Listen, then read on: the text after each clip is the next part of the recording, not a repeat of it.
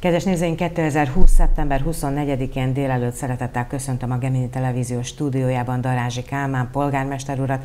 Köszönöm szépen, hogy itt van nálunk, és ilyen különleges időpontban köszönhetem Önt.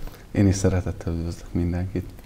A mai beszélgetésünk témájának az alapja az természetesen a szeptember 21-én megjelent és életbe lépett kormányrendelet alapján azt fogjuk átbeszélni most elsősorban polgármester úrral, hogy Monoron milyen védekezési intézkedéseket kellett megtenni, vagy maradtak érvényben.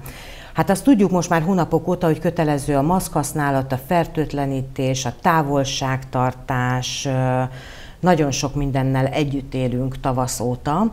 Mennyiben kellett változtatni most az új kormányrendelet megjelenésével a polgármesteri hivatalnak az ügyfélfogadási rendjén? Tulajdonképpen a ügyfélfogadási rendbe kiadtunk egy, egy javaslatot, vagy egy kérést ugye az ügyfelek felé, hogy azt szeretnénk, hogyha csak azokban az esetekben jönnének be a hivatalba, amikor ez közvetlen kontaktolást igényel, ugye ez a, az eljárás, amit éppen ők szeretnének, hogy végrehajtsunk, illetve a, a többi esetben pedig próbáljuk meg ezt telefonon elintézni, de ugye, hogyha személyes megjelenést igényel, akkor pedig telefonon leegyeztetve ugye a, a kollégával, össze, ö, megbeszélnek egy időpontot, és akkor akkora bejönnek. Persze azért előfordul, hogy valaki úgy jön, hogy bejelentkezés nélkül, de ezt azért próbáljuk meg elkerülni. Illetve a bejáratnál ugye rögtön mérik a hőmérsékletet, a testhőmérsékletet. Ugye most ez úgy néz ki, hogy a jogszabály szerint 37-5-ig engedhetünk be ugye embereket ugye a hivatal épületébe, ha ez már ugye egy tizeddel eltér, akkor már innentől kezdve ugye el kell küldenünk a, a, az ügyfelet.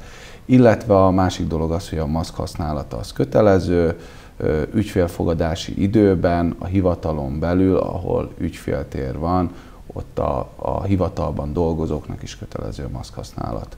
Polgármester úr, jó néhány önkormányzati intézmény is van, kövál, sportcsarnok, vigadó, az óvodák, az uszoda, bölcsöde, gondozási központ. Ott is hasonló szisztéma szerint próbálnak az ügyintézésben segíteni az ottani kollégák? Ö, igen, tehát minden intézmény ki fogja dolgozni saját magára ezt az eljárási rendet. Pont, hogyha visszamegyek, akkor majd a jegyző úrral, a könyvtárral kapcsolatban fogjuk ezt egyeztetni, mert onnan már bejött az igény, hogy akkor hogyan tovább és hogyan fog majd a, a könyvtár üzemelni. Ö, mindenki ki fogja dolgozni, de végül is ezek a lényeges dolgok, hogy a személyes kontaktálásokat azt a minimumra csökkentsük, illetve azt, hogy a maszk használat az kötelező, illetve azt, hogy a, a belépésnél az intézménybe, épületbe akkor hőmérsékletmérés van, és csak a a legszükségesebb dolgok miatt lehet belépni az intézménybe, tehát olyankor, hogyha ez, ez elkerülhetetlen, mint mondjuk, ha egy óvodába mennek egy, egy gyermekért. A hőmérsékletmérés mondjuk a hivatal esetében ez mindenkire vonatkozik, tehát reggel, mikor én bemegyek a hivatalba, nekem ugyanúgy mérik a testhőmérsékletemet, mint az összes többi kollégának, és azoknak a, a, az embereknek, ugye, akik ügyfélként beérkeznek. Polgármester úr, hát azért nem egy egyszerű dolog a kontaktot elkerülni mondjuk a, a könyvtárba, hát mert ugye ott azért csak beszélni kell az ottani kollégákkal, hogy mégis milyen könyvet szeretne az ember Várható, hogy ott egyébként szigorítás lesz, hogy egyszerre hány személy tartózkodhat bent mondjuk például? Nem olvastam még végig, hogy mi a, a könyvtárvezetőnek a javaslata át fogjuk ezt gondolni, igen. De én azt gondolom, hogy ez elég ritka dolog az, mikor a Monori könyvtárba 15-20 ember tartózkodik bent én egyszerre. Úgy, Biztos, hogy vannak kellett. ilyenek, de szerintem azért ezt kezelni tudják. Illetve én azért azt látom, hogy az, a, az emberek azért egy kicsit ö, ö, jobban odafigyelnek most. Nincsenek olyan szigorú intézkedések, mint ugye tavasszal voltak, de azt gondolom, hogy azért ö, ö, nincs akkora mozgás, mint, egy, mint hogyha normál időszakot élnénk, és nem egy ilyen pandémiás helyzet lenne. Piac, mert hogy ugye ott azért nagy vihart vert annak idején az információ, a hír, amikor itt bejelentettük, hogy bezár a tavaszi időszakban, és aztán a nyitásnál pedig micsoda vásárlási idősáv volt, kötelező volt használni a, a maszkot, készfertőtlenítő volt, és hát nyilvánvalóan egyszerre meghatározott számú vásárló lehetett bent, és akkor ehhez kapcsolódóan hadd adjak át önnek egy üzenetet egy kedves nézőtől, aki felhívott. Ha még egyszer bevezetésre kerülne a vásárlási idősáv, akkor megfontolásra javasolná a kedves idős hölgy, hogy reggel 7 órától 9 óráig mehessenek az idősebbek vásárolni. Polgármester úrnak ezt üzeni. Jó. Ö, járok én is a piacra, én szoktam maszkot használni, nagyon sok embert látok, aki azért nem használja maszkot. Ott nincs kötelezővé téve, nem is tudjuk ott kötelezővé tenni a, a maszk használatot, és a távolságnak a betartása az szintén egy ilyen nagyon nagy probléma. Tehát sokan próbálhatják betartani a másfél méteres távolságot, mikor esetleg sorba mögéjük meg beállnak 20 centire, vagy éppen beállnak az előtte lévő és közé. Tehát ez egy nagyon érdekes dolog, én azért arra intenék mindenkit, hogy azért tartsuk be ezt a, a, a távolságot, sokkal több fertőzött van, mint tavasszal. Bár a hatósági házi karanténnak az ideje 14 napról 10 napra lecsökkent, ettől függetlenül ez még érvényes és létezik, és én arra lennék most kíváncsi, gondolom önökkel együtt, hogy vajon a polgármesteri hivatal, az önkormányzat vezetője, Darázsi Kálmán polgármester kap-e bárhonnan bármiféle fajta információt arra vonatkozóan, amit meg is tudunk osztani a nézővel, hogy vajon monor településen lakók közül, akár tartózkodási helye van, akár állandó lakcíme, hányan lehetnek hatósági házi karanténban kérhető ilyen információ egyáltalán, vagy ezt automatikusan meg kellene, hogy kapja az önkormányzat vezetője? Határozatokat kaptunk eddig azokról, akik esetleg Covid-dal fertőzöttek voltak, vagy ö, házi karanténba kerültek, vagy a hatósági karanténba. Ö, most már jelenleg csak arról kapunk határozatot, aki közvetlen ellátásra szorul, és akit a, ugye az önkormányzatnak, közvetlenül a polgármester terheli ez a feladat, tehát a polgármester az ellátásért felelős. Ezekben, tehát ezekről az emberekről kapunk kizárólag értesítést a jellegi helyzetben. Egyeztettünk már a, az illetékes kollégákkal, tehát a, akikhez ezt az ANTS-szel egyeztettünk, most jelenleg annyira túl vannak terhelve, hogy nem tudnak erről pontos adatot szolgáltatni, illetve ők járási szinten látják el ezt a feladatot, ezért ugye ez azt okozza, hogy ők most ö, járási szinten tudnak számokat ö, mondani, kifejezetten monorra nincsenek számok, de egyébként pontos információnk nincs az esetszámokról, de én azért megpróbálom, megpróbálom ezt megoldani, tehát dolgozunk rajta. Nem alánk tartozik a, a, ez a hivatal, tehát az a hivatal, aki eljár ebbe, ezért, ezért azért ne, én, mint polgármester nem tudom őket erre utasítani, kérhetem őket, hogy esetleg szolgáltassanak adatot. Köszönöm szépen, és akkor átérünk a Monor városát érintő egyéb témakörökre. Kezdjük talán egy pályázati lehetőséggel. Kettő is van ebből, ugye a civil szervezetek és az egyházak pályázhatnak az Emberi Erőforrások Bizottságához egy kis támogatásért. Mit lehet itt megigényelni? Mert nyilván egyfajta összeget, de mire?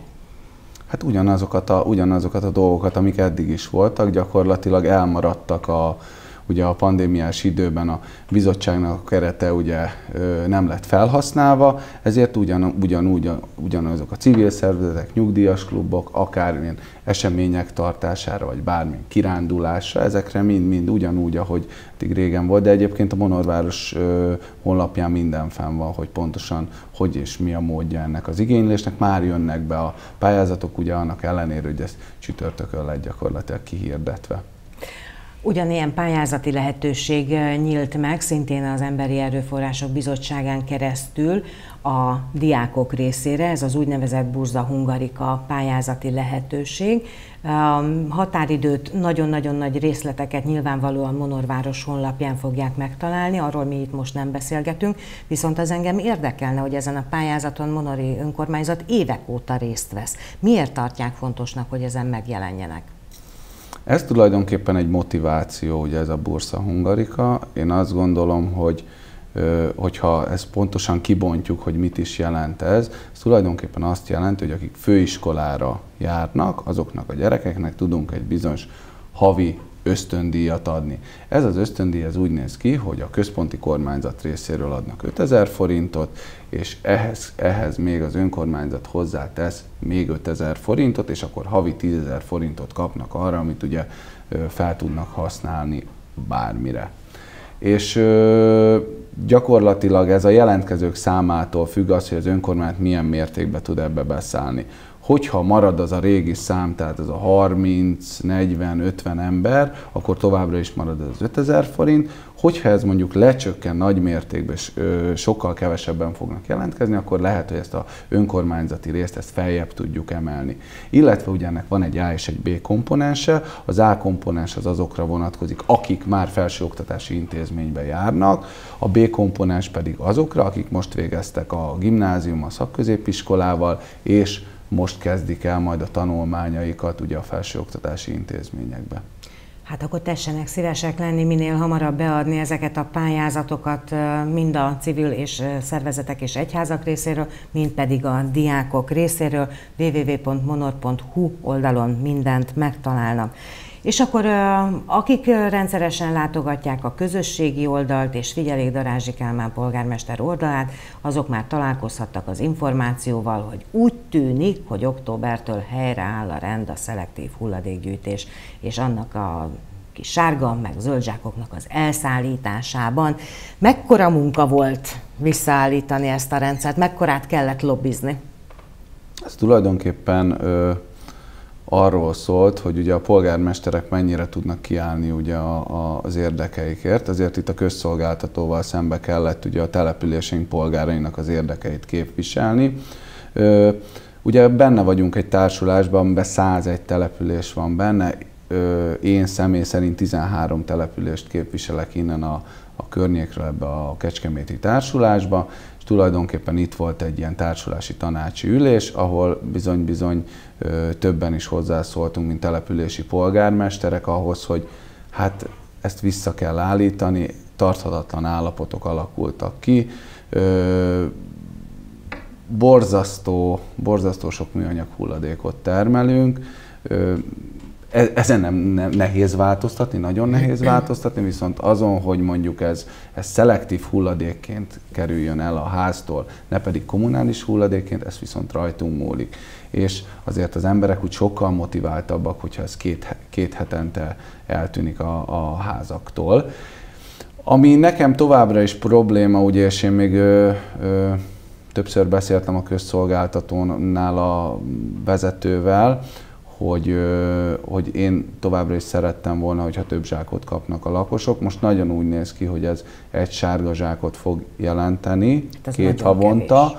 csak a, lekértem Kecskemétről a közszolgáltatási szerződésünket, és nincs benne meghatározva a zsákoknak a száma, tehát erről annó nem rendelkeztek. Valószínűleg ezt a központi, tehát az országos hulladéktörvény alapján ö, alakították ki, és ezért, ezért volt így, de a lakosok bármennyi zsákot kirakhatnak, olyan zsákba, ami, ami ugye ö, átlátszó, és gyakorlatilag elbírja azt a terhelést, amivel majd ez a szelektív, hullad, ami a szelektív hulladék tárolásához kell.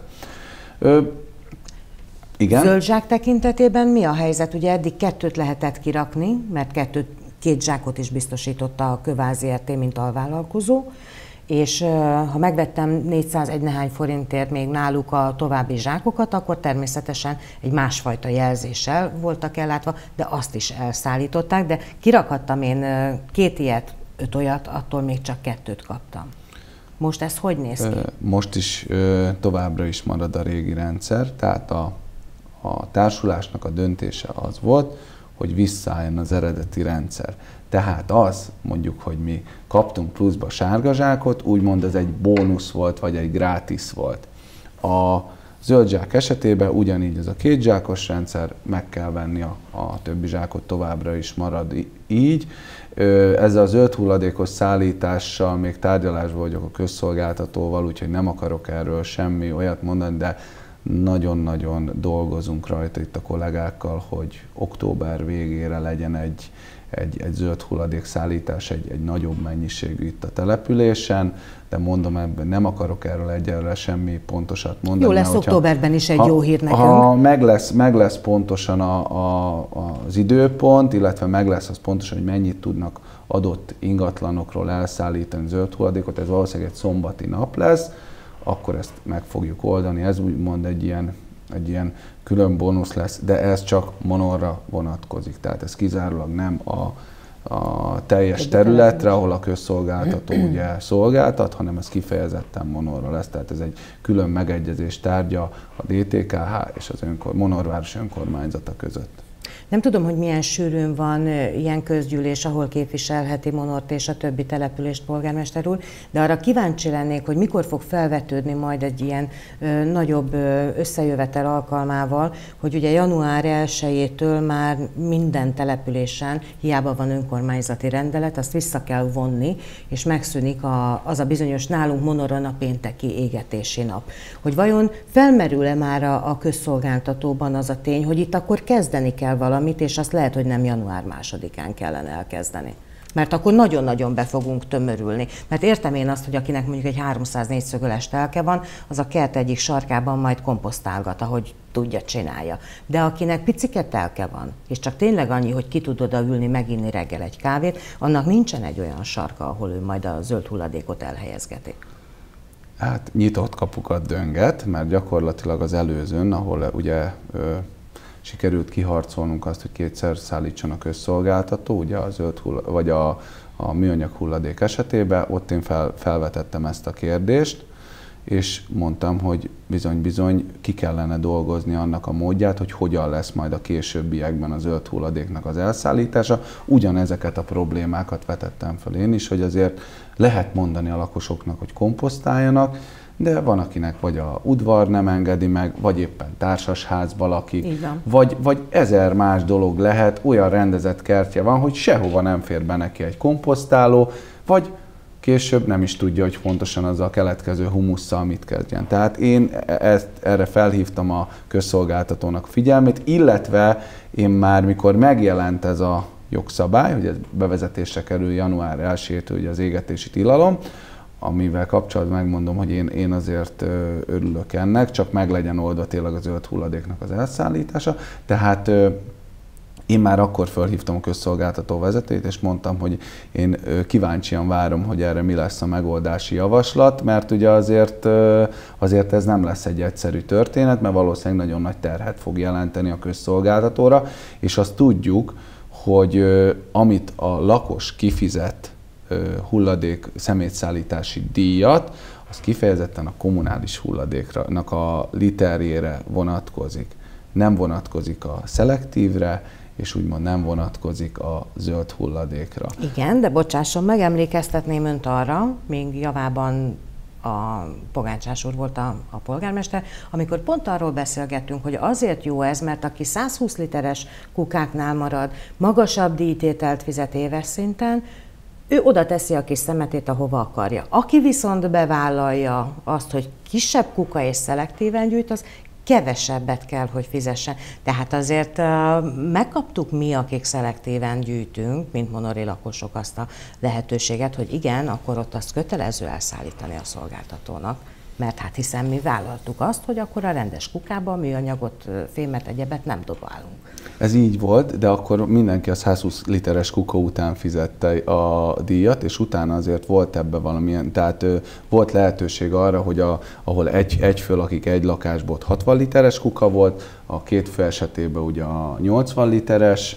edényzet került úgymond besorolásra, vagy a 80 literes edényzettel tudnak attól az ingatlantól elszállítani. Tehát valóban ez így van, ahogy, ahogy mondja, és én is abszolút, tehát én is, mint lakos is szerepelek ebbe a történetbe, és én is látom a, a rendszerbe úgymond ezeket a, a hibákat még, amik jelenleg benne vannak.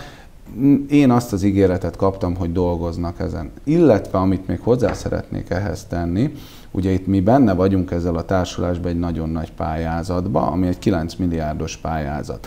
Ebből a monori lakosok, és így a teljes társadalás területén a lakosok először jövő évben fogják látni az első eredményt, háztartásonként egy darab 120 literes szelektív hulladékgyűjtő edényzetet fog kapni mindenki. Hogy a tulajdonos ennek ki lesz ennek kukának, az egy másik kérdés, de mindenki fog kapni. Ebben lényegesen egyszerűbb lesz majd gyűjteni ugye a szelektív hulladékot, egyszerűbb lesz benne tömöríteni, és egyszerűbb lesz valószínűleg a tárolás. Az más kérdés, hogy majd az udvaron belül hol fog elférni ez a 120 literes kuka. Illetve a másik, hogy következő évben, tehát most 21-ről beszéltem, 22-ben valószínűleg fognak jönni zöld hulladékgyűjtő edények, ez pedig a zöld hulladékra vonatkozik majd, és teljes mértékben meg fog változni a szelektív hulladékgyűjtés is, mert nem kizárólag csak száraz szelektív hulladékot fognak gyűjteni, hanem száraz, nedves lesz együtt. Ez meg fogja növelni majd a szelektív hulladéknak a mennyiségét,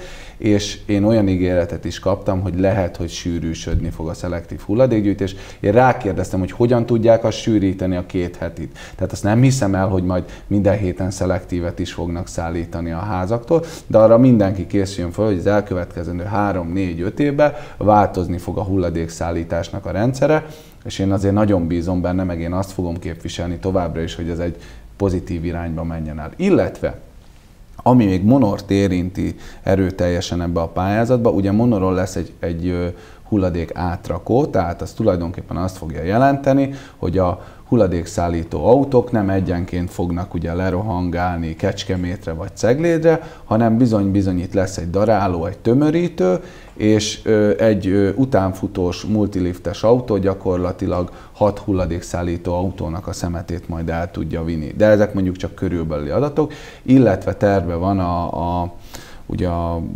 ez az üzem mellé, hogy majd telepítenek egy komposztáló üzemet is. Most jelenleg a pályázatból csak az alépítménynek, tehát az alapnak lesz, meg ennek a betonplacnak lesz meg az ára, de a DTK fog rajt majd telepíteni rá tulajdonképpen egy, ö, egy ilyen komposztálót. Ö, itt már mi az elég mélyen belástuk magunkat ebbe a komposztálási történetbe, és én mindenféleképpen ragaszkodni fogok ahhoz, hogy monorra zárt rendszer kerüljön telepítésre. Ne legyen bűzhatás. Ne legyen bűzhatás, mert puszta zámoron azért, hogyha ahova az FKF szállítja a zöld hulladékot, ott azért van bűzhatás.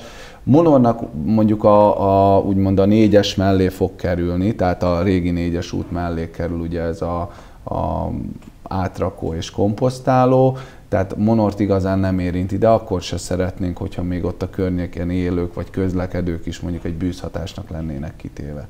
Hát csupa-csupa jó hír, és hát egy-két évecskét kell csak várni, és tényleg minden megvalósul.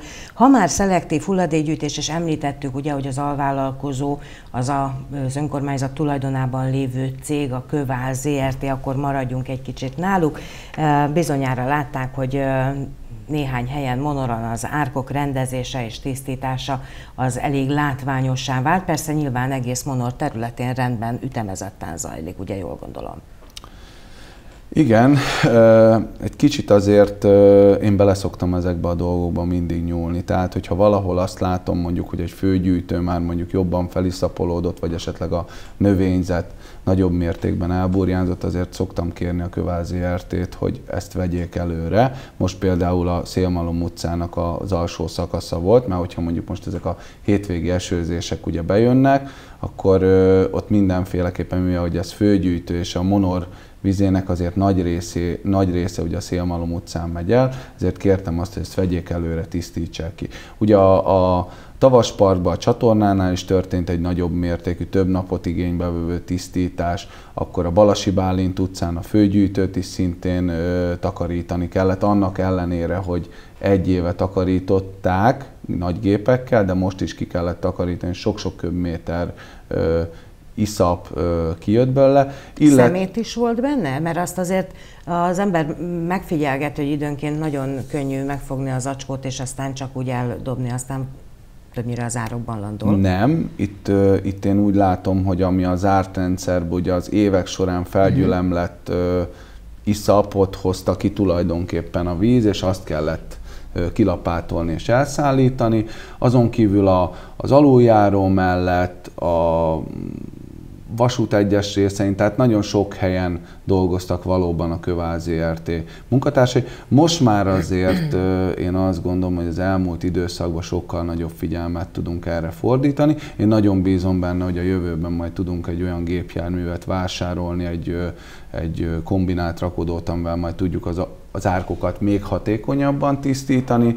Persze ezek az árok tisztítások azért nagy részt a főgyűjtő, gyűjtő árkokra vonatkoznak. Tehát az, hogy mondjuk a, a, a a lakosok előtt vannak ugye szikkasztó árkok, vagy hogyha olyan elvezető árok, azért az nagyrészt a lakosnak a feladata, hogy azt tartsa rendbe.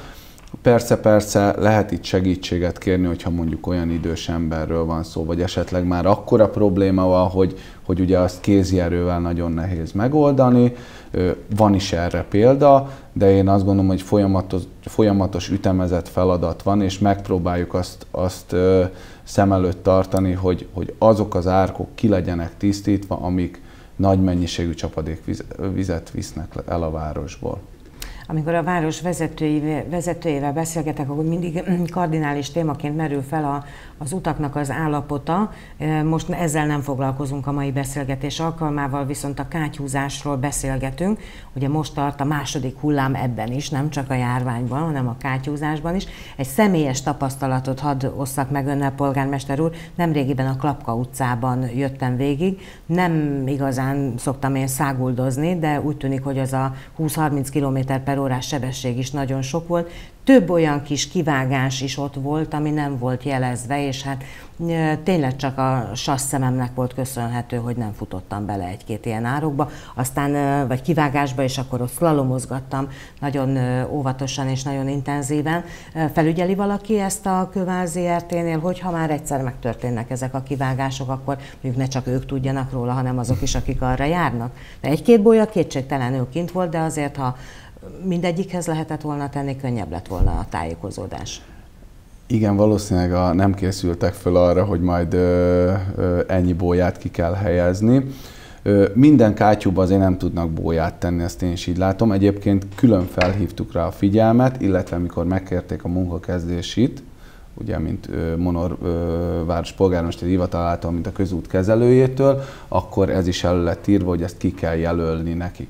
A kátyúzással kapcsolatban ugye az elmúlt időszakban a a régi időkben úgymond.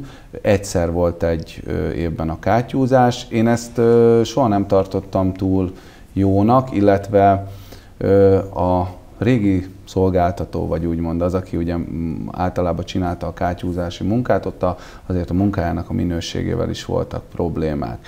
Itt kifejezetten ragaszkodtam ehhez, hogy ezt osszuk két részre, tavaszra és őszre. Nem képződik annyi kátyú, illetve ö, nem is kell egy évig nézegetnünk egy kátyút utána, hogyha mondjuk az a, a kátyúzás után képződik. A másik dolog, ami nagyon fontos ezzel kapcsolatban, hogy most már mindig használnak emóziót alá, tehát sokkal tartósabb lesz a kátyú, illetve tesznek rá gyakorlatilag egy ilyen ö, dilatációs szalagot, ami nem engedi azt, hogy a csapadékvíz a régi és az új aszfalt közé befolyjon, és ezáltal sokkal tartósabb lesz a, a úgymond a kátyúzás.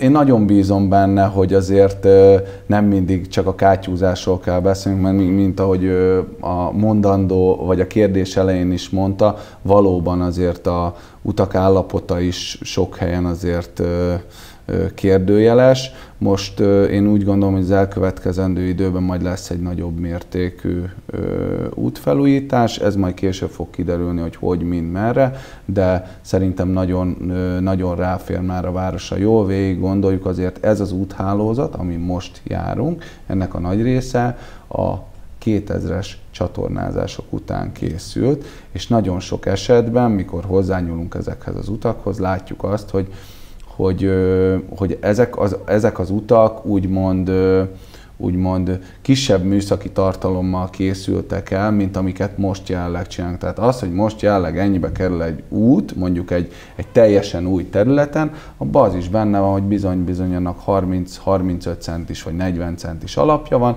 és arra húzunk egy, egy réteget, mint például egyébként most is kijött a Deák Ferenc utca végén, illetve a Csokonai út, utcának azon a kis szakaszán, hogy bizony-bizony ez az út úgy is tudott működni, hogy viszonylag egy ilyen 15 centis alap volt csak alatta, vagy 10 centis alap, és hosszú-hosszú évekig gyakorlatilag 15-20 évet végig szolgált, és csak utána kellett ugye újra hozzányúlnunk. Polgármester úrral nagyon sok mindenről tudnánk még beszélgetni, de most így az adás végén, vagy a beszélgetésünk végén egy ö, kettő téma igazából, de azért megpróbálom összevonni, hiszen nagyon fontos kérdést vetett fel most a képviselőtestületi ülésen az egyik napi rendi pont, ez a parkolási koncepció, és ennek kapcsán rögtön beszélhetünk az Adi út a megkezdéséről is. Hát hiszen tyúk vagy a tojás fásítunk, fát ültetünk előbb, és utána csináljuk meg a, a, az esetleges parkolót, mondjuk egy koncepció alapján, vagy pedig előbb elkészítjük a, a parkolót, kimérjük legalábbis, hogy hol legyen, és utána kezdünk el fásítani, hogy nehogy belekerüljön az a szegény fa pont egy parkolónak a helyébe. Na kezdjük a parkolási koncepcióval. Képviselőtestület úgy határozott, hogy meg fog bízni valakit, ha jól emlékszem, igen. hogy készítse el. Igen, Miért igen. nem a, a képviselők? Készítik el, vagy gondolják át, hogy mit szeretnének. Miért kell külső cégre bízni? Mert ez egy szakmai munka. Uh-huh. Tehát ha úgy vesszük, mondjuk tegyük föl, hogy nekem mondjuk van olyan szakirányú végzettségem, mondjuk én településüzemeltetési szakmérnök vagyok. De ez azért nem jelenti azt, hogy én mindenhez értek, amit a városban történik. Ugyanúgy, aki egy képviselő, úgymond egy ugyanolyan polgár, mint az összes többi, többi ember, egy laikusként kerül be. Az, hogy milyen iskolai végzettsége van, azt a kutya nem nézi a választásnál, tehát itt egy szakmai munkára van szükség. Ebbe a parkolási koncepcióba nagyon sok dolgot meg kell vizsgálni. Tehát ez a parkolási koncepció nem arról fog szólni, hogy az összes helyen, ahol van egy pici rész, oda parkolót fogunk építeni, hanem ez meg fogja vizsgálni az igényeket is. Meg fogja vizsgálni azt, hogy mondjuk melyik helyen és mennyi parkolóra van igény. Ugye itt azért elment velünk a vonat, mert gyakorlatilag azért az elmúlt tíz évben nagy mértékben megnőtt a gépjármű forgalom monoron is, és ugye ezt nem nagyon tudtuk ugye a parkolóhelyekkel követni. Én ugye már a ciklus elején ígértem azt, hogy valamit kezdeni fogunk ebbe a ciklusban a parkolással, az az elképzelés, hogy fel fogjuk mérni a teljes város területére ugye a parkolóigényeket, hol van szükség, pontosabban a belvárosi részen, mert azért valljuk be őszintén, hogy a, Mondjuk a sorompon túlra, hát na, oda nem feltétlenül igen, kell a, a telepi részen azért megoldhatók még ezek a parkolások, igen. illetve van a városnak azért a külső részein ugye megoldható, de a belváros részben kezelni kell a parkolási problémát, ez egy nagyon fontos dolog. A legnagyobb probléma szerintem a hivatal és a okmányiroda járás környéke, ott van a legnagyobb anomália, a másik szerintem a piac. De ezeket, ezeken mind-mind dolgozunk. Tehát ezek úgy lesznek kialakítva, hogy az igények alapján fogják ugye beazonosítani azt, hogy hova lehet majd parkolókat elhelyezni, és a parkolási koncepció alapján indul meg majd ugye a priorizálás, hogy melyik helyen a legszükségesebb parkolót építeni, majd utána ebből elindul a terveztetés, és majd utána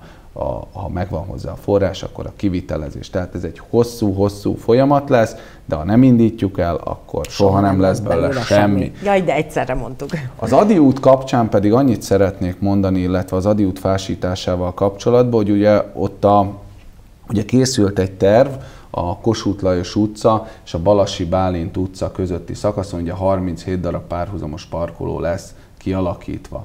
Ott már a fákat figyelembe vették ennél a parkoló tervezésnél. A parkoló koncepció készítésénél és a parkolók tervezésénél is a mára meglévő fákat figyelembe fogják venni. Én nagyon ragaszkodom a, a, a fákhoz, nem szeretném, hogyha itt ez a parkoló építés az azt jelenteni, hogy itt ö, végtelen mennyiségbe kivágják a fákat. Különös tekintettel mondjuk a József Attila gimnázium előtt egy gyönyörű szép nagy házfákra. Igen, nem áll tehát nem lesznek kivágva a fák, úgy lesz megoldva, hogy csak a lehető legminimálisabb ápolási munkát és azokat a fákat kelljen mondjuk kiszedni, akik, amelyik tényleg veszélyt jelentenek, vagy ugye amelyik fák már eleve betegek. Tehát ez erre nem jelent probléma. Illetve én azt gondolom, hogy ha már a közterület ugye rendeződött valamilyen módon, Tehát mondjuk, ahol eredetileg nem voltak fák, és mondjuk megtörtént a tervezés, a tervezésbe ugye bele lehet ezt tenni, hogy akkor hova ültessünk majd fákat, és akkor a gyermekeink, unokáink már egy sokkal zöldebb monorba fog, monoron fognak élni, mert most azért, hogyha jól végignézzük, azért nem lehet azt elmondani monorról, hogy olyan nagyon-nagyon zöld lenne. Vannak nagyon szép fasoraink, vannak nagyon szép zöld részeink, de ha unblock nézzük a várost, akkor nincs, nincs, nincs túl sok fa. Tehát, hogyha más, más ö, hasonló településeket nézünk. Hát ott mondjuk a bevezető utak eleve mind a két oldalon gyönyörűen fásítottak. Mondjuk az. Nem igen. minden helyen. Igen, igen. A, mikor lesz ez a fásítás az Adi úton? Fog-e bármiféle fajta forgalomkorlátozással járni? És hát nyilvánvalóan ott a parkolóépítésre is gondolnék ma. A parkolóépítés az elindult, tehát a parkolónak az építése az most elindult.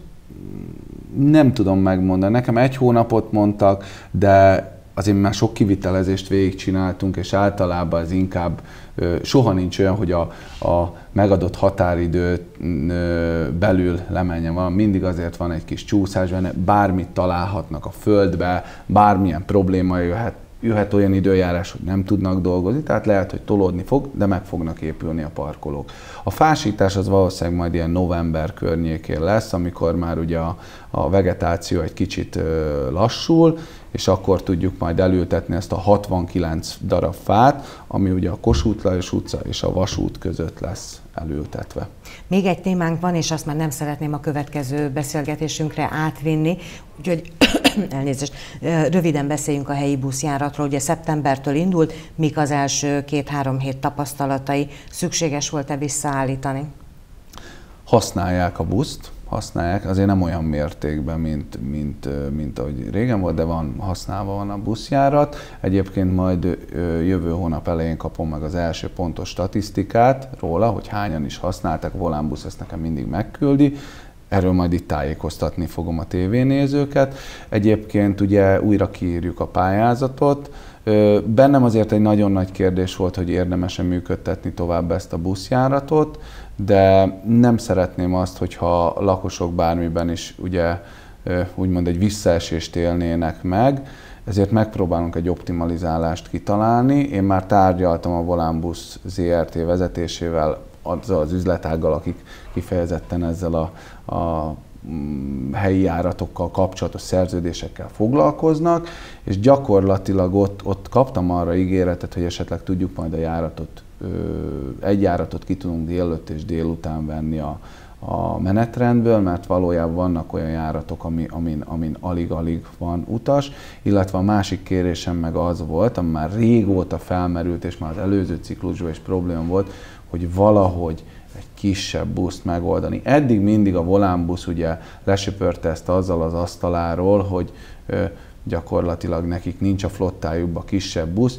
Most egy új vezetővel tárgyaltam, és ő esetleg nyitott volt arra, és, és a kérésünkre azt mondta, hogy megvizsgálják azt, hogy esetleg egy olyan kisebb buszt itt beüzemelnének mondom, ami nem venné ennyire igénybe tényleg az útjainkat, illetve nem is lenne annyira szembetűnő, hogy a 52 személyes buszon csak a buszsofőrön kívül egy vagy két ember utazik, mert bizony-bizony azért napközben nem beszélve a hajnali járatokról, mert azért a hajnali járatokon sok ember utazik, de azért napközben nem mondhatnám, hogy olyan túlzottan ki van használva a, a, helyi buszjárat.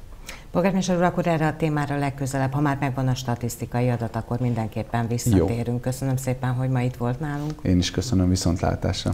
Kedves nézőink, Darázsi Kálmán polgármester úrral, bár ezt még nem beszéltük meg, de én azt gondolom, hogy teljesen egyértelmű, hogyha a járványhelyzet úgy hozza, hogy sokkal több intézkedést kell meghozni, vagy olyan jellegűek lesznek majd a szabályozások, amihez monornak bele kell nyúlnia az egyébkénti szabályozásba itt helyi szinten, akkor mindenféleképpen nyilván vissza fogunk térni sűrűbben majd a polgármester úrral együtt ezekbe a beszélgetésekbe. Egyébként pedig továbbra is rendszeresen tájékoztatjuk Önöket arról, hogy mi minden történik. Monoron a képviselőtestület milyen határozatokat hozott. Köszönjük szépen a figyelmüket, a Gemini televízió műsorát folytatjuk.